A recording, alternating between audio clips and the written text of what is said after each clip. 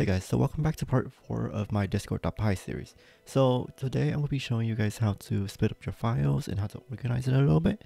And also be showing you guys how to do role restricted commands, right? So let's get started. So right now I'm going to be showing you guys how to split up your um, commands into different files so you can have better, better organization. So let's make a new command. Let's pass in the context. And let's set it to equal to true, right? So the same stuff that we've always been doing whenever we make a command, we'll call it async function. We define a function and let's call it test, right? And now in this test function, we want to give it the CTX, right? The context. What do we want to do? We want to do some code in here, right? So we want to, let's say await um. And let's say we just want to do a test is working, right? So if we run this command and we do exclamation point test, um, the bot would then send a uh, message called the test is working. But let's say we want to have this command inside another file so we can organize our stuff better, right? Since we're doing a tic-tac-toe game, let me say it inside of that way. So we want to have our tic-tac-toe game, the entire game, inside of one file. We want to have all the helper functions inside those files too. So it's better to organize. So if we want to say like, let's change the tic-tac-toe game, we can then just change that file and go and know where it is. So our main file won't just be thousands and thousands of lines. It will be split up across multiple files for, for different commands, right? So right now I want the bot to be able to do ctx.send, right? So let's make a new fi file inside of our project directory up here, new and Python file. So let's call this another file, right? So we have another file. Now in here, let's say, so now we want to do a ctx command, right? So we have to pass in that function. So let's make a another asynchronous function in here. Let's define it and let's call it test2, right? So we're calling it test2 and what are we passing in? We're passing in the context from the main test, test1, right? And now let's do something. So what are we going to do? We're going to do the same thing that we got over here. So we're going to await ctx send, right? So now this is now a function, right, that we can then import over. So now instead of doing this, we can just do await test2. And then we pass in the context. But right now we don't know what test2 is because we didn't import the another file .py into this file. So let's go all the way to the top. And now let's do from another file import star. The star will represent everything. So if we want to just import test2, we can then just do test2. We will then import that function, right? When I'm doing the start, I want to import everything from that file, right? So let's go down here and test2 should be available now. So now let's test if this works. So we will then run this function and let's go over to the Discord right here, right? So the bot's alive. Now when we run test, so we expect our function to go into the test2 function, which is right here, and we expect it to grab it from here, right? So we expect it to send the test is working. Let's see if it works right? So now the bot is working and it's taking uh, information from another file. So now we have a way to split up our files and to split up our files between commands. So this is this is for better organization and how you can basically set up your files so it makes more sense to you, right? So now let me show you some restricted commands. So down here, instead of the test function, let's say for the test function, I only want a user to be able to use it if they're a red, right? A red user. So let's do commands dot so yeah, dot we're calling a function within this command class, right? So we're calling it has role. So if the user who's calling this has a blue role or a red role, then the user can then use it, right? So now let's call it and let's name it red. So we only want users to who have a red role to be able to use this. So now let's run it and test it out, right? So now I'm gonna bring over Discord, and as you can see right here, the bot's are live now, right? So now I have no roles right now. I have no red, no blue roles. Let me test this out and see if it works. Let's call exclamation point test. So we expect it to send the test as working, right? If we don't, if we have this role. When we send the test, it errors out. It says that we don't have the red role, right, to use it. So now let's test it out on a blue role. Let's give ourselves the blue role and let's do exclamation point test. It errors out again and we don't, we don't have that role, right? So now let's give ourselves the red role. Right here, we're red now.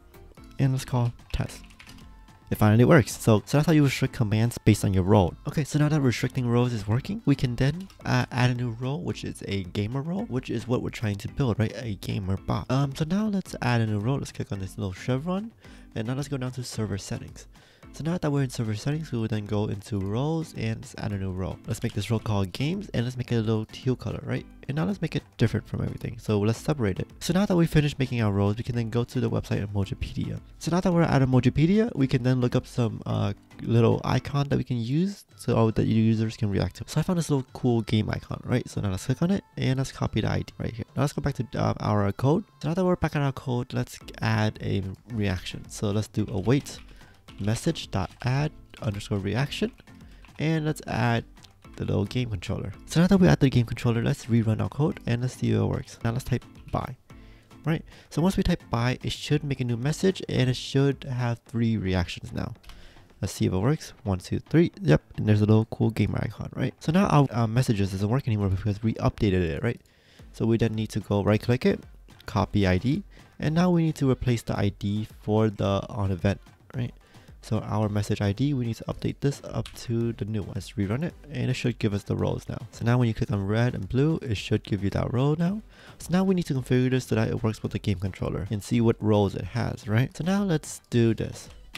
Let's do an else if statement and let's do emoji is equal to and let's just copy down our little game controller. So now let's copy our game controller in. So now let's do role is equal to discord.utils get. So we want to get something from the Discord utilities function, right? And now let's get the guild, the guild dot role from last time. And now let's look for the role name game, right? And now let's do the same thing up here. Copy paste this and do it right here. Now we can just highlight this, click shift tab to re-indent it in and tab this back in. Now it's done. So now let's go back to Discord and see our bot function, right? So now that our bot is up and running, let's test it out. So let's add a red blue role. Now we're blue. Now let's add a red role. Now we're red. Now let's add the gamer role. Oh, so okay, so we don't have so our role does not have an ID. So now let's check it out. So our, yeah, so our name was games, right? So now as you like you see if we uh, didn't write the role the role as the correct name, it won't function, right? So we need to paste this in so it has an S at the end. Now let's rerun it. So now if we do roles, we should, it should work now. So let's do this. And now as you can see, we get the games role. We can't deactivate it because we um, didn't type it right here. So we need to add the S here and now it should work perfectly. Yeah. When you're adding the roles here like this, you need to be uh, careful with what your uh, name is to make sure it's the same name right? So let's go on here and now we can take away this role. Yep, perfect. Okay, so now we want to restrict our um, command. So we're not doing a test command, we're going to do a game command, right? And we only want games. So people who have the game role to be able to use this game command, right? So now instead of uh, calling this other function test2, let's call it load games. And now let's go into this function and let's rename this into load games. And now for our start, let's start our games. Now let's um let's ask the user what games they want to play, right? So let's ask the, ask the user what games they want to play. So let's do an embedded messages, right? So embed is equal to Discord, but we don't have the Discord in here, so we need to then go up here, import Discord, right?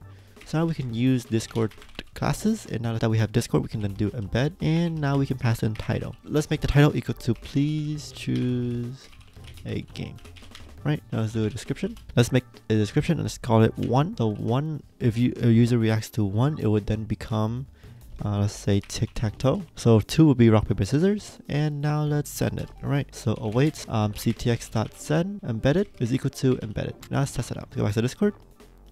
So we don't have the roles, so let's, we don't have the games role, so let's now try calling games. It should throw us an error. Now let's give ourselves the game role. Now let's call it again, games. Now it's asking us to pick a game and it's either one for tic-tac-toe or two for rock paper scissors. I want to make this a little bit neater so i want to add a new line right here. The way you would do that is you would have a backslash with an n which would signify a new line. Let's go over here rerun it and let's type game so as you can see right there it has tic-tac-toe and rock paper scissors on separate line right? Clean this up a little bit. Okay so as you see right here when we send the games command it would then give us this embedded messages right? But do, we don't really want this here. We don't really want our message to still be there so we want to delete that message before we send out the new embedded messages. So before this, we would then do await ctx dot channel. So we want to get the current channel in and we want to purge it, right? But we don't want to purge everything in here. We only want to purge the limit of one. So we only want to purge one item. So now let's try this again. Let's run it and it's alive. So now let's clear these two messages and delete them, right? Let's just delete them so it's clear. And now let's do games. Game, right? Call games, it then deletes our messages and then it gives us back the original messages without us anything. So it's so it will it doesn't become clutter, right? So now we want the users to be able to choose which option they want, one or two, right? So now we want to do the same thing as we did up here, which is to go up here and let's store this as a message, right?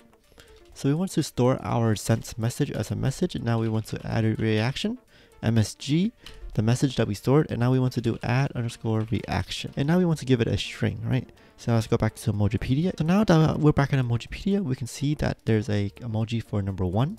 Let's copy it and let's go back to our code. Let's paste it in here. So now that the bot will then add a number one message called await msg.add underscore reaction. And now let's add a number two.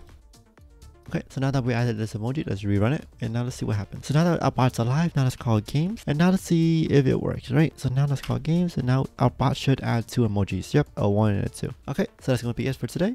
Um, so next time we'll be going over how to wait for a reaction to be added a different way instead of the on reaction add event. Um, so instead we're going to be waiting for the reaction inside of the command itself, inside of the load games command itself, right? We're also going to be doing um, more tic-tac-toe logic and how to check for winners and losers and how to get in the user's like little icon because the way that the user will play this game is through a bunch of different icons that they can then select which bot they want, right? Okay, that's it for today. Bye-bye. Thank you for watching.